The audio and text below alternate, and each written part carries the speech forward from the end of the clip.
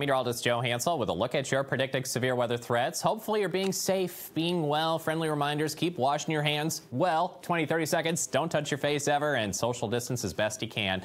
And keep wearing a mask as well. But friendly tips on that. Don't touch your face when you're putting it on, taking it off, and know how to wear it and how effective it is. Want you to be as safe and as well as you possibly can. Looking ahead, because spring is amazing, we're going to see very likely temperatures below averages, cold snaps of air returning for most of the lower 48. Uh, far cry from what we're feeling right now. We got highs in the 90s, near records potentially, in portions of Texas, Houston, Dallas in the low to mid 90s, Miami near 90 degrees as well, so hot and sweaty. Temperatures about 22 degrees above averages in St. Louis. So it's like the weather's telling some locations to social distance, stay home, and turn on the dial to some air conditioning, right? Winter storm watches are out for areas of Maine. Also, probably very soon in areas of Montana for some heavy snow to finish out the week because, again, spring is amazing with cold air coming in.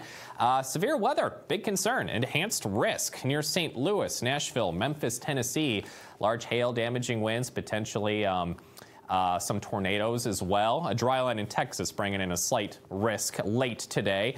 Marginal slight risk in areas of Texas, Louisiana, and with a cold front from about New York City to Atlanta on Thursday. And watching for severe weather possibilities on Friday. So watching out for quite a bit. There's that bullseye of heavy snow in Maine Thursday and Friday and areas near the Sierra Nevada mountains of Southern California. We're still piling on anywhere from a foot to a foot and a half in some of the high elevations in Southern California, and also heavy rain with a flood watch out over an inch of rainfall near San Diego is possible. So remember to turn around, don't drown. Never drive through flooded streets. So for today, severe weather potential near St. Louis, uh, south and southeast of Chicago. And that Pacific low continues to sit and spin, bringing in cold air, significant rain and snow through the day tomorrow.